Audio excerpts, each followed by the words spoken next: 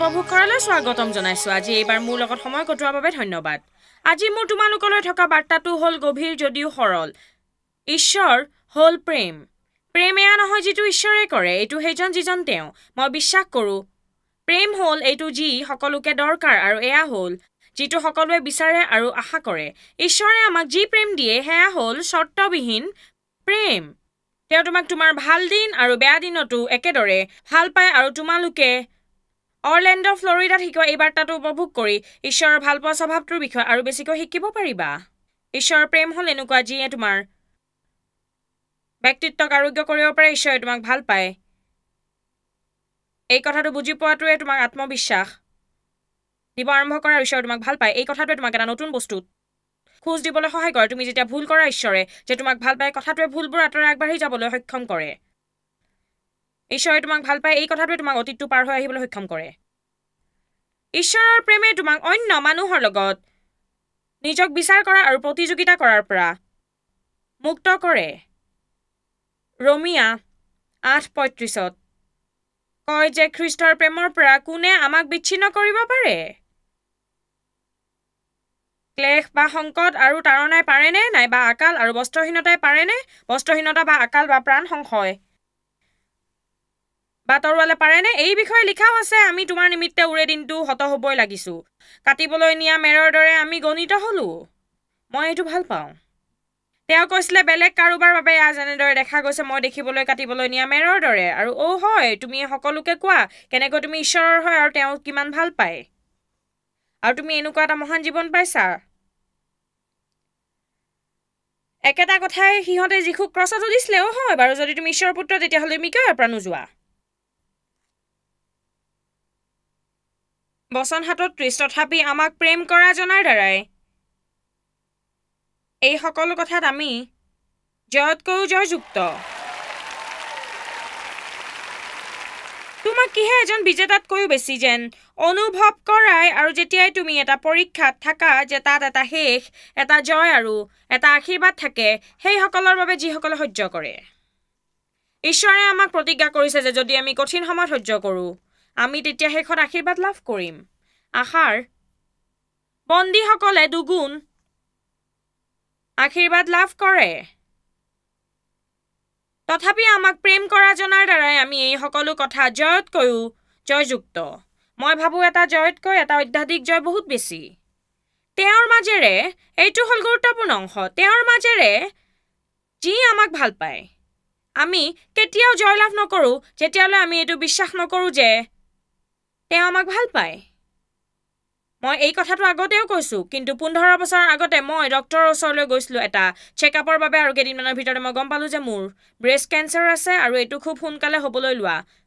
Cancer যিয়ে হৰম'নছবোৰ শুহি লয় আৰু সঁচাকৈ এটা চৰম বস্তু আৰু এইটো এটা খুব সূক্ষ্ম টিউমৰ আছিলে। কিন্তু তেওঁলোকে কৈছিলে আমি এইটো এতিয়াই উলিয়াব লাগিব আৰু আমি এইটো বাঢ়ি যাবলৈ সুবিধা দিব নোৱাৰোঁ। বাৰু মই এজনী বিশ্বাস আৰু শক্তিৰ। বিশ্বাসৰ আৰোগ্যতাৰ বক্তৃতা দিয়া মহিলা আছিলোঁ আৰু মই সঁচাকৈ নিশ্চিত নাছিলোঁ যে মই কি কৰিব বিচাৰিছিলোঁ। আৰু ডক্টৰে কৈছিলে যে বাৰু তুমি তোমাৰ জীৱনটোক লৈ ৰাছিয়ান ৰলেট খেলিব গৈ আছা যদি তুমি আমাক এইবোৰ চোৱা চিতা কৰিব নিদিয়া তেওঁ কৈছিলে আচলতে বহুতো কৌশলীয়ে আনকি এক্স ৰেত এইটো পঢ়িব পৰা নাছিলে। তেওঁ কৈছিলে এইটো হ'ল ঈশ্বৰৰ কাম যে কৌশলীবিলাকে আনকি এইটো দেখা পাইছিলে আৰু তেওঁ কৈছিলে ঈশ্বৰে কিবা এটা দেখুৱালে যিটোৱে তোমাৰ জীৱন ৰক্ষা কৰিব। যদি তুমি এতিয়া এইটো উলিয়াই পেলোৱা সেই একেসপ্তাহমানৰ ভিতৰতে মই। কিছুমান চাৰ্জাৰী কৰিলোঁ আৰু মই কেতিয়াও। পাহৰিব নোৱাৰোঁ মই যেতিয়া খুব ভয়ে ভয়ে ঘৰলৈ আহিছিলোঁ ঈশ্বৰে কৈছিলে কেইটামান এনেকুৱা কথা আছে যিটো মই তোমাৰ মুখত থকাটো বিচাৰোঁ আৰু কৈ থাকা আৰু অন্য কেইটামান কথা যিটো মই তুমি কোৱাটো নিবিচাৰোঁ। আৰু মই ভাবোঁ তেওঁ মোক পাঁচটা কথা অনবৰতে কৈ থাকিব কৈছিলে আৰু বাৰে বাৰে স্বীকাৰ কৰিব কৈছিলে। ঈশ্বৰে মোক ভাল পায় তুমি যেতিয়া বিপদত পাৰে এনেকৈ নক'বা। বাৰু ঈশ্বৰ তুমি মোক ভাল নোপোৱানে নিজকে খেলি মেলি নাৰাখিবা আৰু নাভাবিবা যে ঈশ্বৰে তোমাক ভাল নাপায়। আৰু এনেকৈ নাভাবিবা যে তুমি বহুত ভুল কাম কৰিছা যে তুমি এটা ধুনীয়া জীৱন পাব নোৱাৰা। আমি এটা অত্যাধিক জয় তেওঁৰ মাজেৰে লাভ কৰোঁ যিয়ে আমাক ভাল পায়। বচন আঠত্ৰিছ কিয়নো আমাৰ প্ৰভু খ্ৰীষ্ট যীশুত ঈশ্বৰৰ যি প্ৰেম তাৰ পৰা মৃত্যু বা জীৱন স্বৰ্গদূত বা আধিপত্য বৰ্তমান বা ভৱিষ্যত বিষয় বা পৰাক্ৰম ওপৰ বা তল বা আন কোনো সৃষ্ট বস্তুৱে আমাক বিচ্ছিন্ন কৰিব নোৱাৰে। ই গোটেই বাইবেলতে আছে। ঈশ্বৰৰ প্ৰেমৰ পৰা। কোনো বস্তুৱে তোমাক ঈশ্বৰৰ প্ৰেমৰ পৰা বিচ্ছিন্ন কৰিবলৈ নিদিবা। এফিচিয়া তিনি সোতৰ ঊনৈছ ব'লা তালৈ সোনকালে যাওঁ এইবোৰ পঢ়ো। ব'লা বচন ষোল্লৰে আৰম্ভ কৰোঁ এফিচিয়া তিনি ষোল্ল। তেওঁ নিজ প্ৰতাপৰূপ ধনৰ দৰে নিজ আত্মাৰ দ্বাৰাই আন্তৰিক পুৰুষৰ সম্বন্ধে তেওঁলোকক শক্তিৰে শক্তিমন্ত হ'বলৈ দিয়ক আৰু এইটোৱে সম্প্ৰসাৰিত বাইবেলে কয় যে পবিত্ৰ আত্মাৰ দ্বাৰা নিজেই তোমাৰ আন্তৰিক।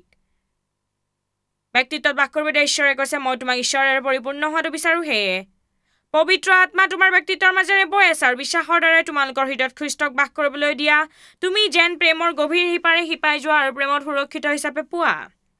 ঈশ্বৰে যে আমাক ভাল পায় এই কথাটো জানিয়ে আমাৰ মনলৈ সুৰক্ষা আৰু আত্মবিশ্বাস আহে।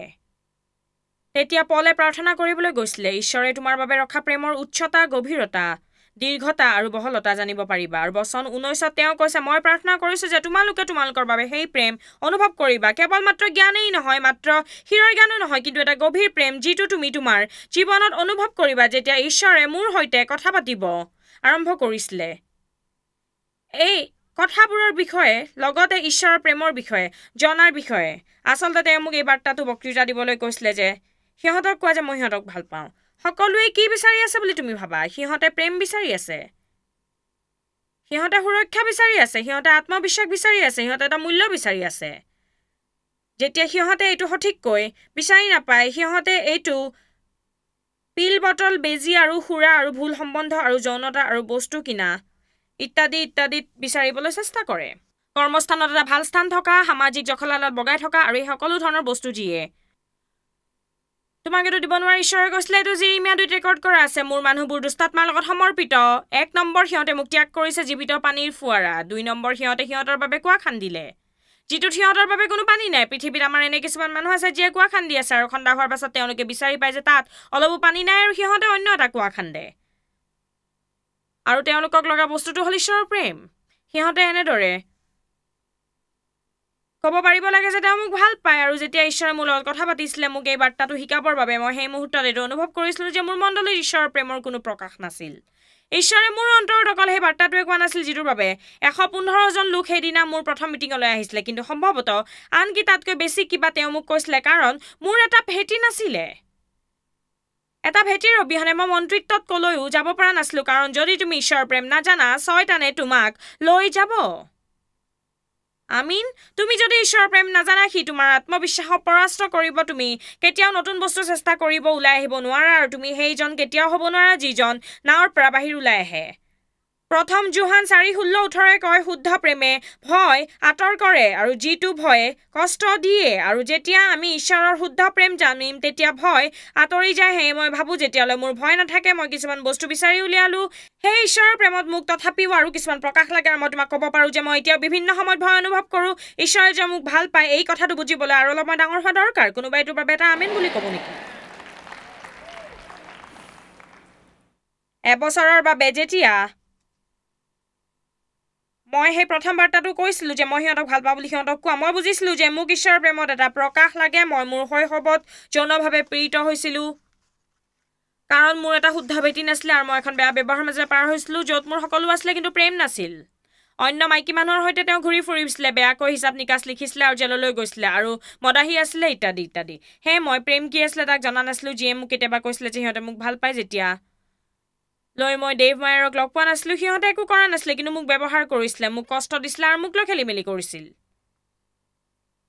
দেৱে মোক ভাল পাবলৈ চেষ্টা কৰিছিলে কিন্তু তেতিয়ালৈ মই ইমান খেলি মেলিত সোমাই পৰিছিলোঁ যে মইতো জনা নাছিলোঁ যে কেনেকৈ প্ৰেম গ্ৰহণ কৰিব পাৰি আৰু যেতিয়া তুমি মৰমীয়াল অনুভৱ নকৰা যেতিয়া যিকোনোৱে তোমাক ভাল পাব চেষ্টা কৰে।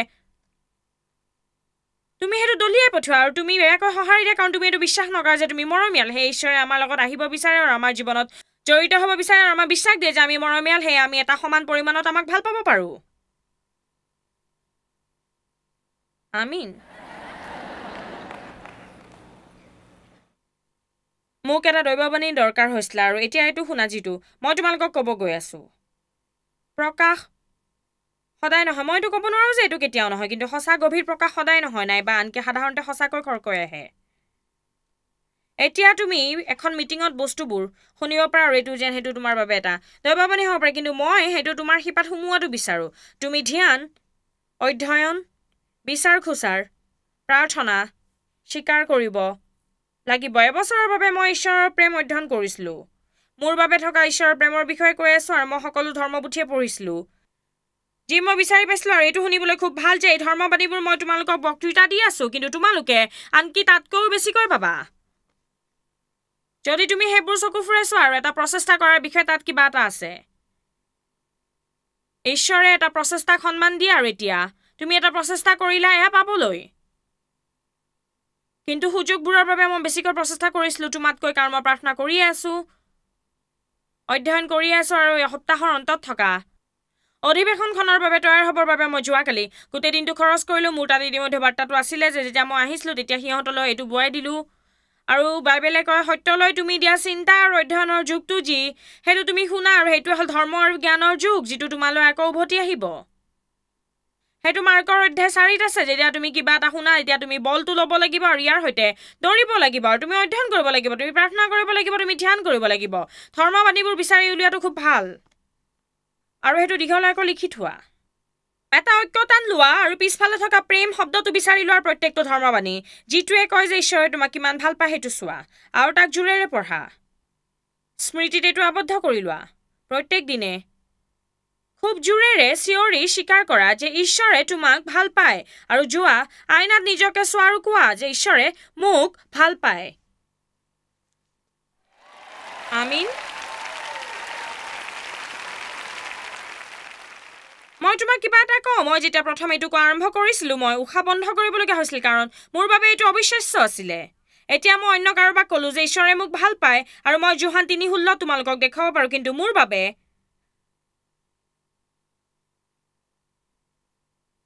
তোমালোকৰ বহুতৰে জীৱনত ইতিমধ্যে এই দৈৱবাণীটো আছে। কিন্তু এইটো তথাপিও তোমালোকৰ বাবে ভাল কাৰণ এইটো এটা ভাল।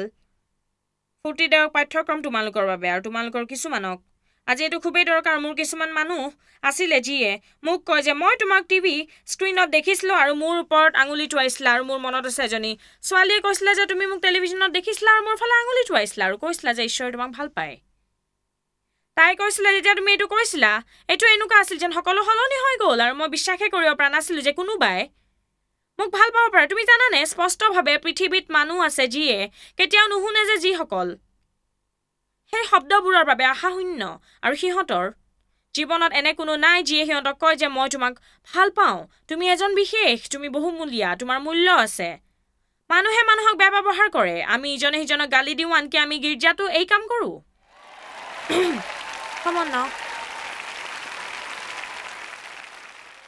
মই তোমালোকক আজি কৈ আছো আৰু টেলিভিশ্যন চাই থকাবোৰকো কৈছো যে ঈশ্বৰে তোমাক ভাল পায়।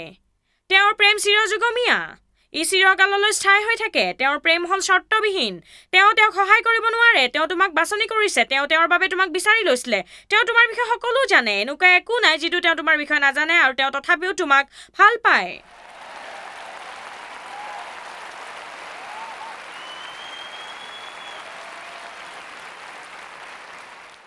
সেইটোৱে হ'ল যিয়ে মানুহক এটা কাৰণ দিয়ে খ্ৰীষ্টক গ্ৰহণ কৰিবলৈ। যিটো হ'ল ঈশ্বৰৰ প্ৰেম। ঈশ্বৰৰ মহানতাখিনিয়ে বাইবেলে কয় যে মানুহক অনুতাপ লৈ বাট। দেখুৱাই নিয়ে তুমি এনেকুৱা এটা কেনেকৈ শুনিব পাৰা আৰু নোকোৱা যে অ' মই এই মানুহজনৰ এটা সম্বন্ধ থাকিব বিচাৰোঁ যিয়ে মোক ভাল পায়। মোক এই প্ৰেমৰ নদীখন লাগে যিখন সদায় মোৰ জীৱনত বৈ থাকে মোক সুস্থতা লাগিছিলে। আৰু মই কেতিয়াও মোৰ জীৱনত প্ৰেম পোৱা নাছিলোঁ আৰু মই প্ৰেমত থাকিব বিচাৰিছিলোঁ আৰু মোক সেই প্ৰেম মোৰ জীৱনত দৰকাৰ হৈছিলে। মোৰ জীৱনত সম্পূৰ্ণতা আনিবলৈ মোৰ মনত আছে যে মই এনেদৰে ক'লোঁ হয়। মই গাড়ী চলালোঁ হয় আৰু মই ক'লোহেঁতেন যে ঈশ্বৰে মোক ভাল পায়। ঈশ্বৰে মোক ভাল পায়। আমি ঈশ্বৰৰ বিষয়ে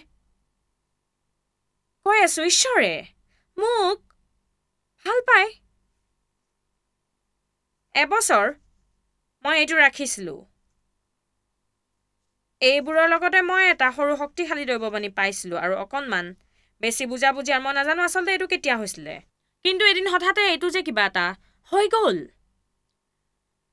সেই শিপাবোৰ মোৰ ঘাঁ লগা আত্মাত সোমাই পৰিলে আৰু ঈশ্বৰে এইটোত বৈ পৰিলে। আৰু ৰখাই দিলে। সঁচাকৈ।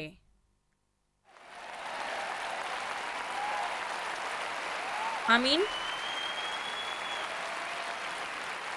এতিয়া মই নতুন বস্তুত খোজ দিবলৈ মুক্ত কাৰণ তুমি জানা কি? মই আনক যদি এটা ভুল কৰোঁ আৰু এইটো একো কাম নকৰে আৰু মই ক'ব লাগিব যে তুমি জানানে কি? মই ঈশ্বৰক হেৰুৱাইছিলোঁ।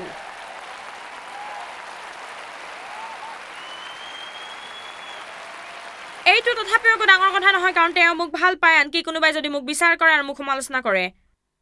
আৰু মোৰ বিষয়ে মিছা কথা কয় আৰু মই এইটো ভাল নাপাব পাৰোঁ কিজানি দুখ দিব পাৰে কিন্তু মই জানো যে তেওঁ মোক ভাল পায়।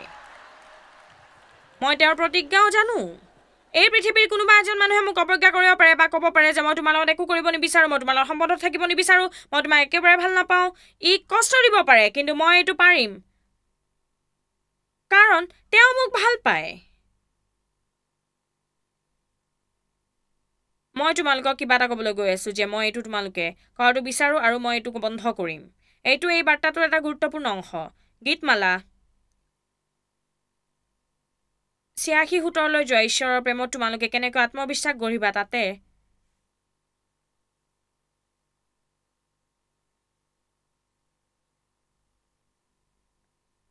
তাকে মই তোমালোকক শিকাব চেষ্টা কৰিছোঁ ঈশ্বৰৰ প্ৰেমত তোমালোকে আত্মবিশ্বাস গঢ়াৰ এটা উপায় হ'ল। এইটোক জোৰকৈ স্বীকাৰ কৰা অধ্যয়ন কৰা আৰু ঈশ্বৰৰ প্ৰেমৰ বিষয়ে। ধৰ্মবাণী পঢ়া আৰু সেইবোৰ ধ্যান কৰা এদিনত বহুতবাৰ তেওঁৰ প্ৰেমৰ বাবে ধন্যবাদ দিয়া। আনকি ইয়াক খুব জোৰে কোৱা মই এতিয়া ঈশ্বৰৰ প্ৰেম গ্ৰহণ কৰোঁ মই এইটো বিশ্বাসেৰে গ্ৰহণ কৰোঁ মই বিশ্বাস কৰোঁ ঈশ্বৰে মোক ভাল পায় আৰু মই সেই প্ৰেম বিশ্বাসেৰে গ্ৰহণ কৰোঁ। কেতিয়াবা ঈশ্বৰৰ প্ৰেমত মাত্ৰ অকণমান ৰ'দ পোৱাই লোৱা তেওঁ মোক ভাল পায়। ধন্যবাদ প্ৰভু যে আমি এনেকৈ ক'ব নালাগে যে ঈশ্বৰে মোক ভাল পায় ঈশ্বৰে মোক ভাল নাপায়। এইটো এটা টচ নহয় য'ত আমি বিচাৰি পাওঁ যে তেওঁ আমাক ভাল পায়।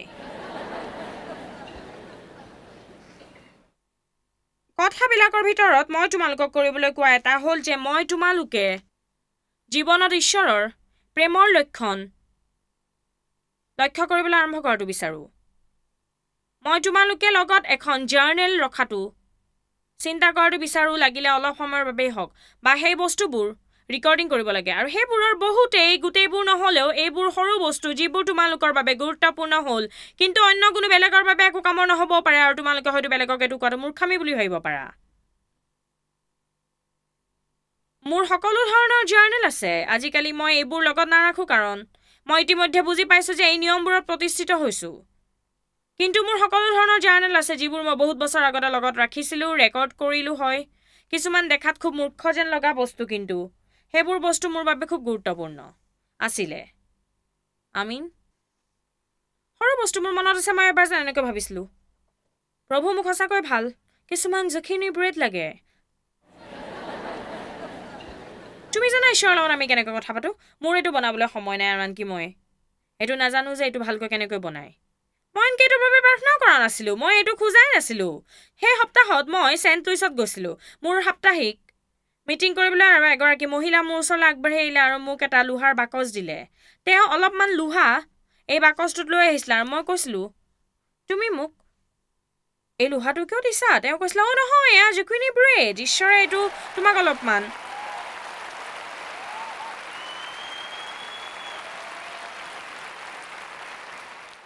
যিকোনো ব্ৰেড বনাই দিবলৈ মোৰ অন্তৰত সোমোৱাই দিছিলে। যোৱাকালি মই দুটা উপহাৰ পালোঁ যেতিয়া তোমাক কোনোবাই কিবা দিয়ে। সেইটো হ'ল ঈশ্বৰে তোমাক ভাল পায়। যোৱা ৰাতি মিটিঙত তাত। কোনোবাই চিঞৰি আছিলে মই তোমাক ভাল পাওঁ জয়ছ তুমি জানা নেকি সেয়াই হ'ল ঈশ্বৰে তোমাক ভাল পায়। যেতিয়া মানুহে তোমাক উৎসাহিত কৰে তাৰমানে ঈশ্বৰ তোমাক ভাল পায়।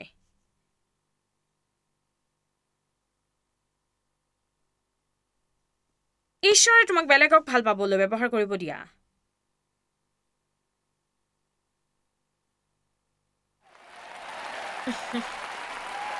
মই এইটো তেনেদৰে কোৱা নাছিলোঁ।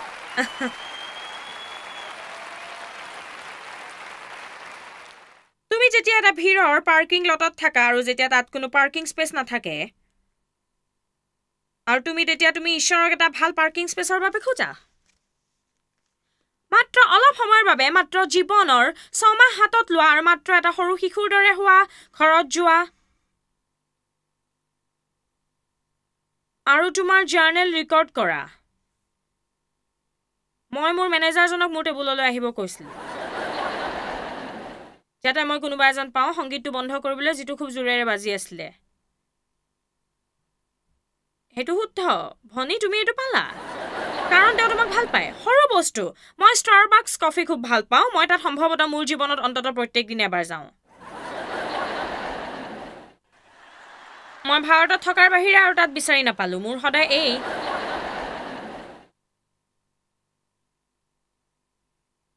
ষ্টাৰবাক্স উপহাৰ কাৰ্ডবোৰ থাকে আৰু প্ৰত্যেকটো একক মুহূৰ্ততে যেতিয়া মই দৌৰি যাওঁ কোনোবাই মোক এখন দি যায়। প্ৰত্যেকটো একক মুহূৰ্তৰ ষ্টাৰবাক্স কাৰ্ডৰ বাবে ইংগিত দি থকা নাই গতিকে এইটো সেইটোৰ বিষয় নহয়। কিন্তু এইবোৰ সেই সৰু বস্তুবোৰ যিবোৰ ঈশ্বৰে আমাৰ বাবে কৰে মই মোৰ কফি কিনিব পাৰোঁ আৰু মই মোৰ কফি কিনিবলৈ যথেষ্ট ভাল টকা পইচা আৰ্জো কিন্তু ই মাত্ৰ মোক আশীৰ্বাদ দিয়ে যে ঈশ্বৰে জানে যে মই এইটো ভাল পাওঁ আৰু তেওঁ এইটো নিশ্চিত কৰে যে এইটো মই পাম আনকি ইয়াৰ বাবে দামো দিব নালাগে আৰু এইদৰে তেওঁ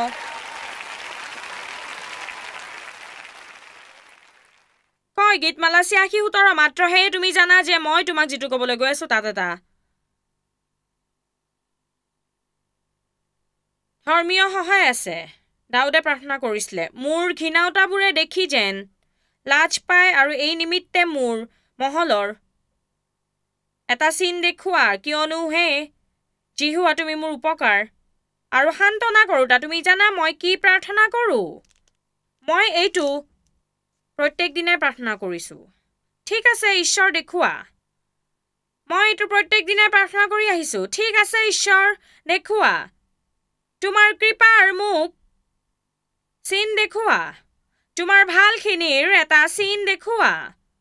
মোৰ জীৱনত অলপমান কিবা কৰা ঈশ্বৰ। যিয়ে দেখাই তুমি মোক কিমান ভাল পোৱা আৰু সেইটো মোক হেৰাবলৈ নিদিবা। তুমি জানা নেকি এইটো তোমাৰ জীৱনত তোমাৰ ঈশ্বৰৰ লগত থকা সম্পৰ্কত এটা খুব উত্তেজক বস্তু হ'ব। যেনেকৈ মই কৈছিলোঁ এই বস্তুবোৰৰ বহুতো তুমি আনকি অন্য কাকো দিব নোৱাৰা।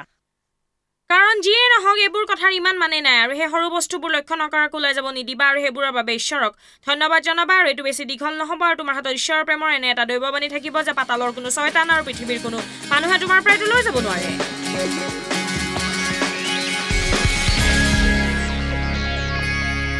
ঈশ্বৰৰ প্ৰেম হৈছে এটা বিনামূলীয়া উপহাৰ আৰু ই চৰ্তহীন আৰু প্ৰত্যেকৰে বাবে প্ৰাপ্য কিন্তু এই পৃথিৱীত অগণন মানুহ আছে যিয়ে এইটো নাজানে আৰু তাৰ ভিতৰৰ বহুতে প্ৰেমবিহীন মূল্যহীন অনুভৱ কৰে আৰু সিহঁতে ভুল বাছনি কৰি আছে আৰু সিহঁতৰ লগত সত্যটো ভগাই ল'বলৈ কোনো মূল্য আছে। সেয়ে মই প্ৰাৰ্থনা কৰোঁ যে তোমালোকে প্ৰস্তাৱটোৰ সুবিধা লোৱা। তোমালোকক আমি ভাল পাওঁ। আমাৰ লগত যোগদান কৰাৰ বাবে ধন্যবাদ। প্ৰত্যেক দিনাই। জীৱন সলনি কৰাৰ এই প্ৰচেষ্টাৰ বাবে আমালৈ লিখি বা ফোন কৰি সহায় কৰক যদি আপুনি ঈশ্বৰলৈ প্ৰাৰ্থনা কৰাটো বিচাৰে। ইয়াৰ উপৰি আপুনি আমাৰ ৱেবছাইটতো চাব পাৰে ডব্লিউ ডব্লিউ ডট জয়স্মাৰ মিনিষ্ট্ৰি ডট অ' আছে য'ত আপুনি দেখা পায় চৌধটা মিনিষ্ট্ৰিৰ আগতে লাভ কৰক জয়ছৰ teaching resources travel schedule digital online book store আৰু বহুত কিবা। গতিকে নতুন জীৱন উপভোগ কৰা ভ্ৰমণ কৰোঁতে আমাক যোগাযোগ কৰক এয়াইটো সময় জীৱন উপভোগ কৰাৰ।